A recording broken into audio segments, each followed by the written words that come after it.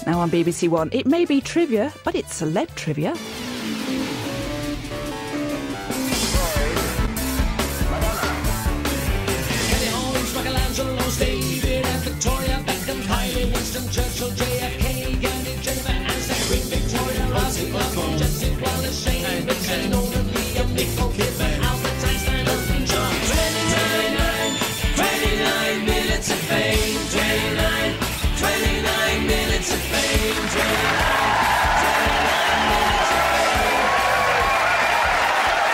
Good evening and welcome to 29 Minutes of Fame. This is the show that examines the famously famous. Before we begin, apologies to the researcher we sent to tell Bjork she'd been turned down as a panelist on this week's show.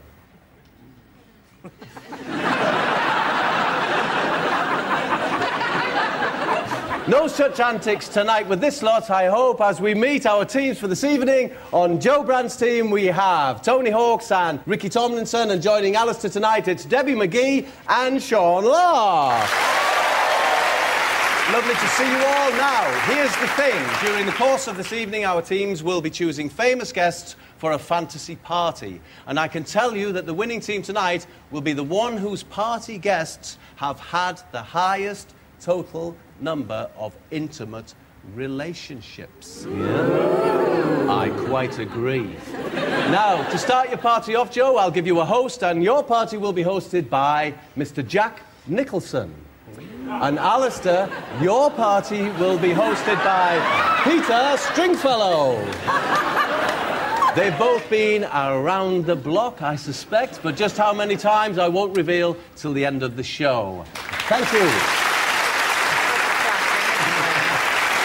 Right, let's start the quiz proper with our opening round famous connections. The teams have to identify the different connections between four famous faces. Starting with Jo's team, first of all, what connects Edwina Currie to Dale Winton? I think that they're, they're, they're both having fertility treatment and her treatment's gone very wrong. I think she's in the later stages of pregnancy. Hmm. And Dale, as you know, is a, a male midwife. He's standing by to deliver. it's one of the largest pregnancies ever known in. Ricky, Ricky, Ricky, humans are mammals, we don't lay eggs. Oh, don't we? Or she's not human, which seems more likely. Do they both like having sex with men?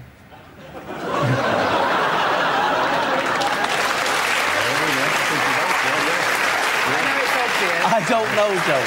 Has I he don't come know. out yet? Or This is the, I think this is the connection is that Edwina wouldn't be forced out of the cabinet and Dale won't be forced out of the closet. It's to do with their connection to a very famous person, John Major? is the one. They've both had sex with John Major. Oh. Has anyone here had sex with John Major? Anyone I on this- have, I yes. have as well. you two. No, have you not? Debbie, put your No, I hands feel up. really No? left out. I know Paul has. Oh, I'm going to give it to you, Jo. I'm going to give it to you, Jo, because the oh. answer is that they both admitted to lusting after John Major. Oh. Edwina revealed this in her diaries and said that she's actually had an affair with John Major. Dale confessed he had a crush on John ever since he saw him walking down the street. He thought, there's a man with nice, broad shoulders. Before adding, oh, my mistake, that's Edwina Currie. you know, hey. But Alistair, Alistair's team, can you connect for me, please, Dale Winton to Fidel Castro? Are they pen pals? Is it carpet burns? It isn't, but I'm interested in what you're saying. Now, I wondered if. Uh, does Fidel Castro present the Cuban lottery show? Where you just have to guess what number he's thinking of. Nobody ever wins. you just get a box of cigars and a crab if you win. What more could you wish for? Dale, Dale started out, I think, at Trent FM in Nottingham. Right. Did Fidel ever ring up to play Guess the Voice? Not that we know of, Alistair. Castro was. Uh, was the CIA trying to kill him? Didn't they? they? Well, they're still. They're always trying to kill him. Yeah. Are they trying to kill Dale Winton? the CIA, are they tracking Winton? Have they got a sort of Winton uh, agent out there who just can't bring himself to finish him off? I didn't mean it to sound like that at all. Is, is it anything to do with sport? Yes, it is, Ricky. Oh, Because Ricky. Castro is a fanatical football supporter of British teams. I like it, I like it. And so is Daily Boy. I'm not sure which team it is, whether it's Arsenal or Chelsea or whatever. I'm sorry, I'm But it's, sorry. it- they, both, they both support the same team, Bob. Do you want to plump for a team, Ricky? Arsenal. Correct answer, ladies and gentlemen. Ah. Correct answer. Yep. They both support the Arsenal. Yes, it's true. Dale has long been out in the open about his passion for the Gunners. Fidel has supported them since their 1971 double winning season. Let's move on, either team.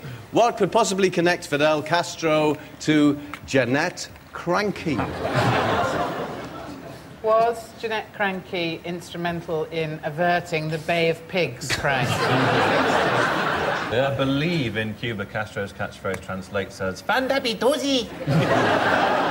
Janet's mother went to Cuba on holiday a long time ago, and she is actually the secret love child of Fidel Castro.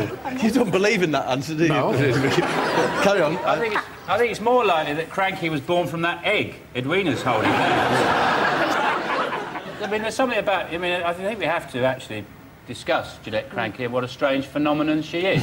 'Cause I think it's one of the genuine rites of passage of all people in this country. The day you realise that Jimmy Krankie is not a nine-year-old boy; it's a middle-aged woman. It's, it's right up there with the Father Christmas bombshell, isn't it? That we find that. If it was the other way, way around, if it was a middle-aged man dressed as a nine-year-old girl, you wouldn't get on telly. Mm. You wouldn't, you wouldn't get on the internet. Debbie, have you ever met Janet Krankie? I have, yes. How big is she? That big? I What, don't know. about four foot ten? About 4'10", Yeah. yeah. But in the States, they've never heard of her, have they, really? No. Oh, oh that's what you meant Have by how heard big is she? No, I mean, I mean, you know, she's not as big as, you know, Michael Jackson, is she? Let's put it that way. That, that would be a real shock for Jackson, wouldn't it? It You got, you got Janette Krankie back to his ranch.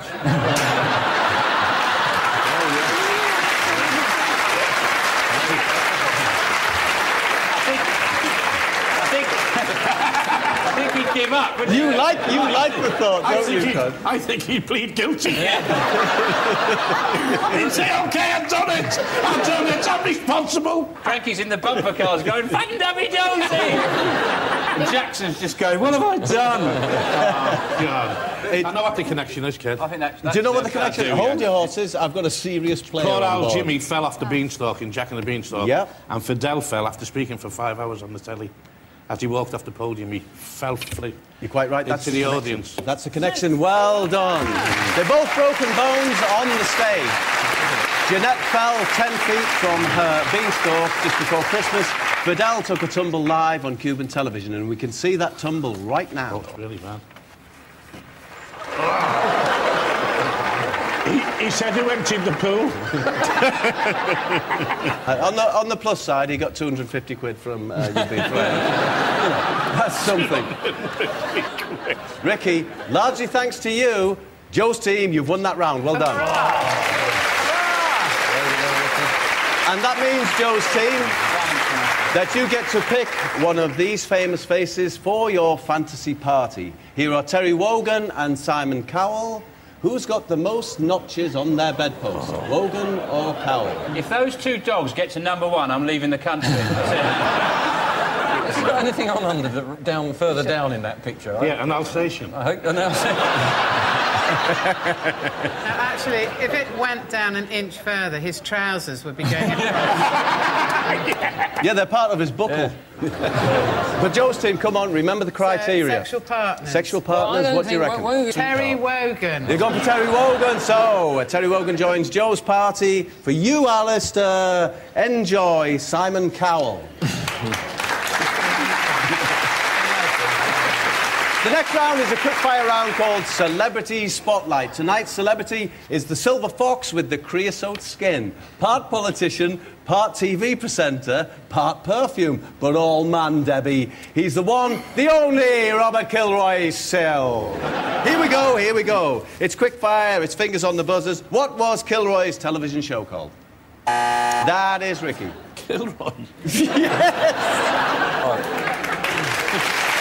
And that's the end of that round. Only joke. Only joke. He had a particularly bad day in December of last year. But why? That's Debbie. Father Christmas didn't come. Ah! It's not the correct answer. It was, it did, Father Christmas did come and he beat the crap out of him. Is that the, uh, the day he wasn't made leader of UKIP? It isn't. It isn't. Oh. I'll give it. It's meant to be Oh, quick. yeah, This yeah, I know it. Sean He, uh, someone threw a load of uh, excrement at him. is the correct answer. He was covered in slurry by, I presume, a kind of protester. Let's have a look at that. And there he is. Have you got the phone number of that bloke? He's got a ginger beard. I love them. Alistair? After that happened, I wonder if he said to him, How's it feel to be covered in slurry? How's it feel to be completely coated in shit? We'll never know. Which famous person does Kilroy most admire? That is Alistair. Kilroy.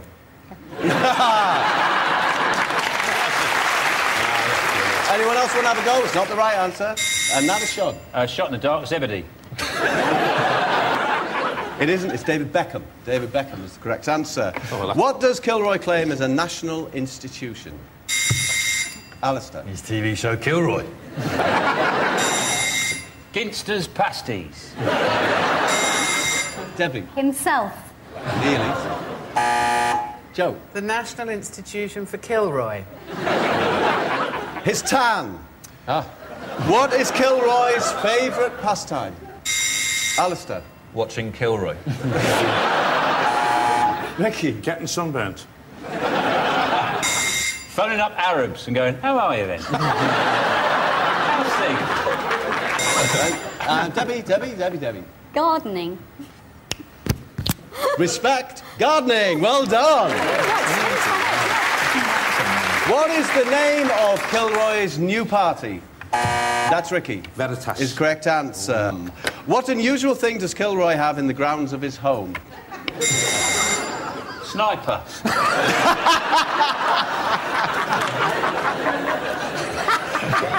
Was any justice in the world? Wouldn't that be unusual? Jo. An admirer.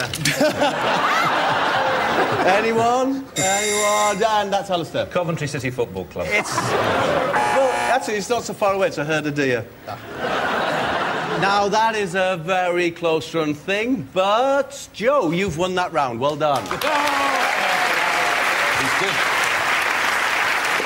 It's party picking time. You can choose Jo, you won that round. You can pick between these two faces to join you at the celebrity party. EastEnders Shane Richie and mad Russian monk Rasputin. Who do you think has had the most conquests? Well, it's got to be Rasputin, hasn't it? I think Rasputin Got to be Rasputin. had hundreds of partners. And Shane Richie, Thousands. thousands. Ah. Have you had sex with Shane Richie? There's still I'm- time, though. There's still time. Exactly. Jo? Yes. Debbie's married. Oh, Sean, really? I haven't been married all my life, Sean. Haven't you? No. You a bit of a goer then before that. Hey, hold on, hold on, hold on. Come on, Jo's team. Go Razzie. Rasputin. We go for the old Rasputin. They're going for the Mad Monk Rasputin, so Rasputin joins Jo's party. Alistair, you receive Shane Richie from EastEnders. There you go.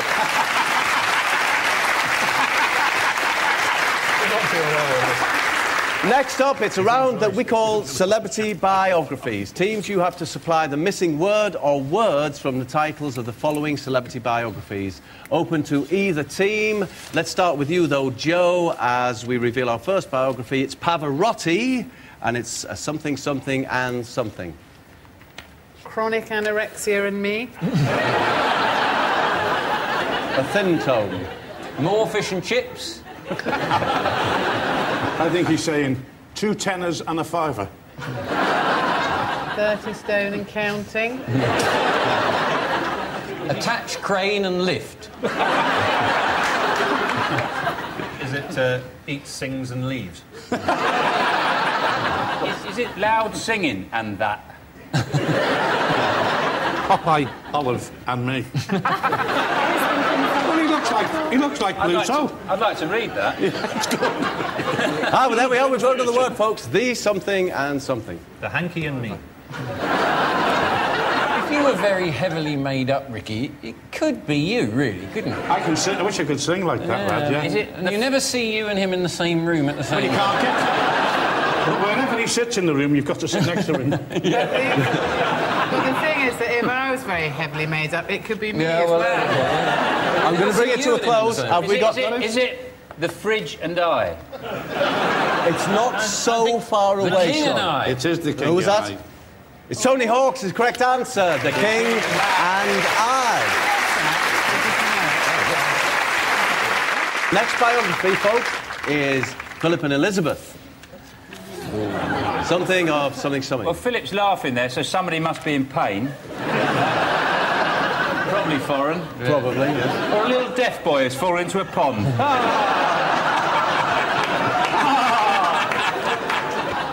Results of cousins marrying? Picture of German tourists. I'm going to give you another word. Here it comes. Of that. Thanks. Confessions No of problem. a royal. Diary of a. Nobody. Yeah. Confessions of a Randy Monarch. That's a good read, isn't it? Randy Monarch, one word. Like, Randy Monarch. Alistair? Um, I think uh, book was written, you see, by, by Gyles Brandreth, who's a wonderful writer, great friend of the Prince, and, and he wrote this book uh, a couple of years ago, did very well last summer, in fact, uh, did very well in the charts, very enjoyable read. It's called Portrait of a Marriage. It's about their marriage. It's about Gyles Brandreth, you see. Correct answer. Correct answer. Portrait of a marriage. Thank you, and Alistair's team has won that round. Well done, Alistair. So, Alistair, Sean, and Debbie, it's time for you to go party picking again. Your choice is between Jordan and Paul Daniels. Who do you think has had the most liaisons? Hey, now, no. Debbie, Yes. we didn't know this would happen. You can just keep stum if you don't mind. This is like me leaving my star player on the bench. I Just like didn't- having Rooney on the team, I'm leaving him on the bench. Alistair, she only knows about half of them anyway. Well, that's true. Can I give, can I give them a clue? No. All right. How are you going to do that? Well, I was going to say what number I am. Oh. I should think it's an equation by the time it gets to you, isn't it? Alistair? And I'm going for Jordan because we're man heavy, and I think, you know, you don't want your partner at a party. Gone for Jordan. So, Alistair takes Jordan. That gives you, Jo, Paul Daniels.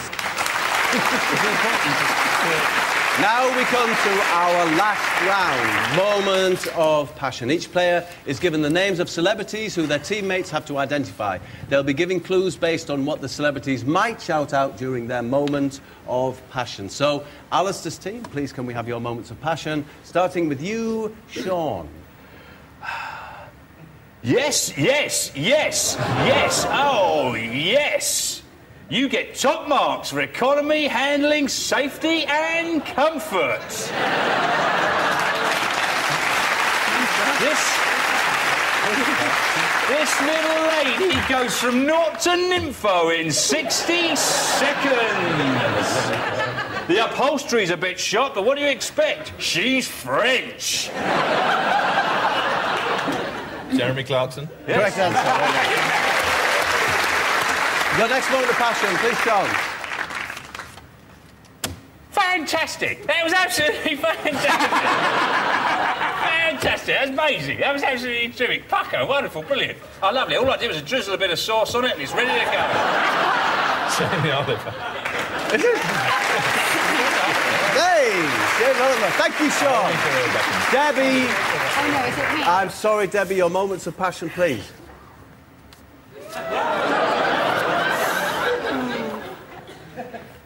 I am not aroused. I'm still not aroused. Ah, we're arriving. That's my wife! Debbie! You've just done my wife! Alistair? Queen Victoria of Britain. Well done, Debbie. Well done. Very good. The next moment, please, Debbie. Right, oh, oh God. oh. Core, core, blimey, princess.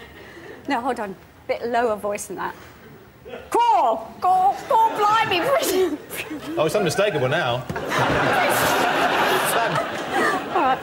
Yeah, yeah, yeah, yeah. Ever thought about working on phone lines? I didn't do it like this in prison. Oh, hold on a minute. I've got. Oh, oh, just let me Leslie turn my Grantham. computer on. Leslie Grantham. Yes. Leslie Grantham, thank you, Debbie. Alistair. Your moment of passion, please. Oh, golly. Oh, uh, yeah. Um, Ooh, hey up. uh, oh, golly. Shiggity briggity. Uh, oh, my golly. Oh, uh, I, I, I, uh, Wow. oh, this is this is this It's is this Boris. is Jemima. This is this is divine. Divine. This is Jemima. Um, eh, I,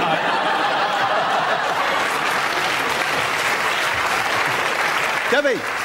Well, I thought at first it was Boris Johnson, and I realised it was Hugh Grant. Two grand, right? Alistair, your next one, please. Oh, God. Oh, I- oh, yes. Oh, no. Oh, yes. Oh, don't just take a little, take a lot too.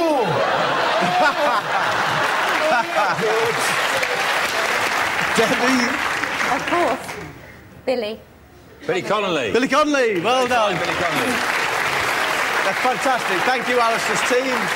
And with apologies, Jo, it's your team's turn to give me their moments of passion. I'm Going to start with you, Tony. Earlier,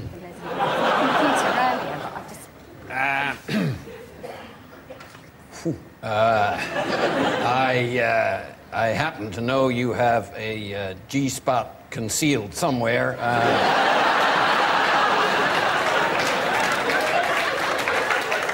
I've been looking for it for a couple of years. Uh, do you mind if I get my friend Tony to help look? It's um, Germaine Greer. Germaine? Is it Bush? It's George. George Bush, thank you, Tony. Next one, please, Tony. Um,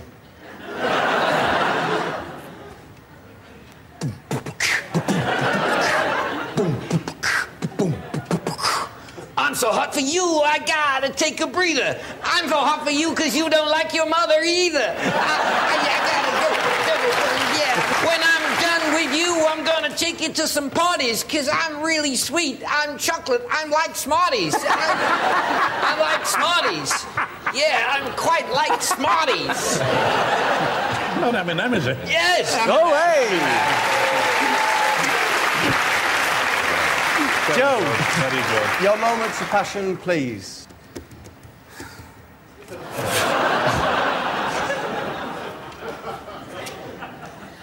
Calm down, dear.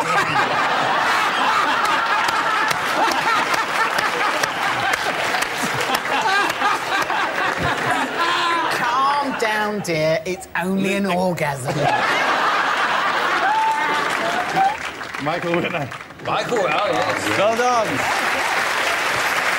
Your next moment of passion, Jo. God.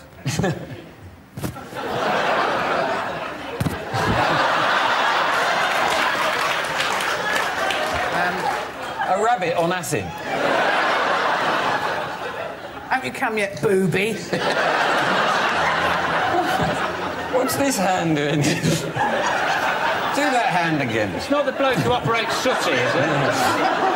Matthew Corbett.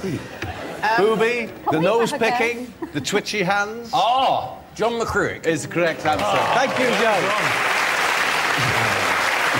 Ricky, Could I just apologise for that? Thank you. Have you had sex? Ricky, you're always standing up. He's going to rear up. Here he comes. The moon has never looked lovelier. This is one step for mankind and one leg over for me. Ah, ah, ah, We've got liftoff!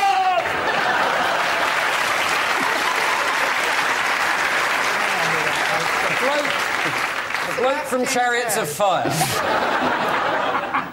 is, it, is it the first man on the moon? Yeah. Neil Armstrong? It is, yeah. Correct answer. Well done, Ricky. Thank you both, teams, for those moments of passion. Okay, right now we come to the big moment. Let's take a look at your two sets of party guests. There they are. That's yours, Alistair, Jordan, Peter, Shane, and Simon. Hope you're happy with what you've done. Over on your side, Jo, we have Terry Wogan, Paul Daniels, Rasputin, and Jack Nicholson. The winner of tonight's show is the team whose celebrity guests have had the most intimate relationships. It's the moment of truth, ladies and gentlemen. Let's take a look at the numbers. First of all, Rasputin, the mad monk. He has had 1,000 liaisons. Oh, well done, Rasputin. Next up, it's Simon Cowell. Let's have a look. 70 partners, and he made each and every one of them dress up just like him. Jack Nicholson. Here he comes. It's got to be high. Sorry, Alice, it's got to be, hasn't it?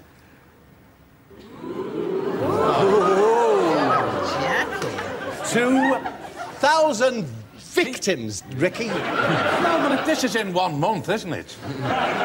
Where do you get these figures from? Where do you get... I mean, if someone just... They, They're all contained in the words of the people themselves. These are what they've claimed to have slept with. I shouldn't say what, that sounds awful. This is as claimed, as claimed by the participants themselves. Shane Richie. Here it is. It's 1,000, uh, and you didn't know there were so many Nolan sisters, did you? I like the fact it's an exact number. He just stopped at a thousand. Right, that'll be for me. Got the grand. Terry To a Wogan. monastery. Here we go, old Wogan. Terry Wogan. Terry. Have you got high hopes, Ricky? Yes. You have? Yeah. Well, sorry to disappoint you, it's one. hey, but Ricky, let's hope it was one big one. Who shall I go for next? Peter Stringfellow. What are you expecting, Alistair? We just need something big. We need a big number. You need a big number. You do, you do, you do. And I think he'll deliver. He has, he's given you 2,000. 2,000! No, I think it's more Imagine 20,000. those bones rattling away on his bunk bed 2,000 times. Incredible thought, isn't it? Next up, Jordan. Jordan, you chose Jordan, mm-hmm. and I think your instincts were probably right. However, the card says nine. Nine. Respectable. Respect to those nine people for daring to go. so, we have to move on now to Mr. Paul Daniels. Come on, Debbie. Now- now- We're rooting for you, Debo. I hope it doesn't come as too much as a shock. Now, if my maths is right, and it usually is, Paul needs to have slept with more than 78 people to win the quiz for you right. Three.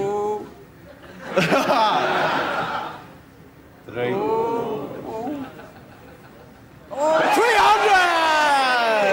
300! Debbie, were you 300? 301? I'm 301. 301, but it's the last one that's the one we'll all remember, because that was Debbie. so, Paul's done it for you, Jo, just like he does for Debbie. You're tonight's winners. Well done. Congratulations.